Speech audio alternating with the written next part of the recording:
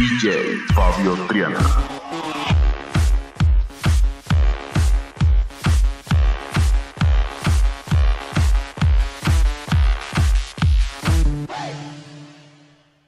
Hello, hello my friends.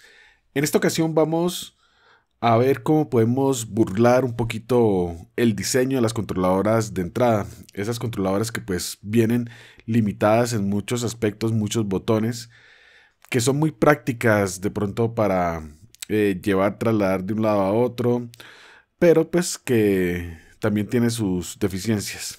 Pero pues para un DJ que está entrando, está empezando, pues es eh, muy, pero muy bueno. Entonces va dedicado a la sección específicamente de efectos.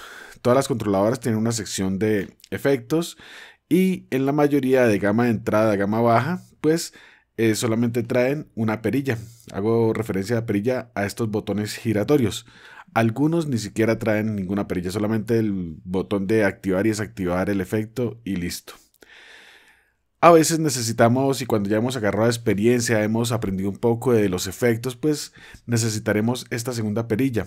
Algunos DJ lo que hacen es darle doble función a la perilla que traen en la controladora y al girarla normalmente, pues gira el primer control y al utilizar de pronto Shift, entonces van a girar el segundo control, ¿vale?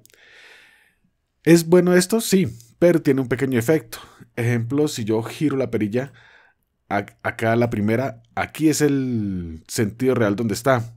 La segunda tiene este sentido. Entonces tendré que girar la perilla hasta cero para que pueda enganchar y poder girar esta perilla. Eso es como un efecto fantasma. Entonces, para evitar esto, eh, vamos a ver un comandito que tiene Virtual DJ y que nos va a permitir manejar esta segunda perilla. ¿Listo? ¿Cómo lo hacemos? Ya sea en el teclado de su computador o en el juego de pads o algunos botones que tenga libres de su controladora. O, eh, no sé, aquí en los botones que trae Virtual DJ para modificar, pues vamos a programar este botón. Lo recomendable es programar dos botones, uno que suba y otro que eh, baje. Entonces vamos a programar este mismo comando, lo pueden utilizar como lo dije anteriormente en el pad, en el teclado, donde sea que es lo mismo. Le decimos effect, eh, effect bed back. Me perdonan, estoy un poco con gripe. Espero me logren entender effect bit. A esto tenemos que agregarle una variable que va a ser más 1. ¿Qué quiere decir esto? Que me va a aumentar o me va a girar eh, la perilla en un tiempo. Cerramos y si ustedes se fijan acá, voy a dar clic y se empieza a girar la perilla con los clics. ¿Listo? Entonces ya tenemos la perilla que aumenta. Y ahora que disminuya, pues sencillamente vamos a cambiar, en vez de este 1, vamos a, perdón, este más, vamos a cambiarlo por el menos. Cerramos y mira. Ahí tenemos y podemos controlarla de forma independiente sin necesidad de utilizar eh, la doble función en la perilla, que como les digo, pues tiene el defecto este de la posición fantasma.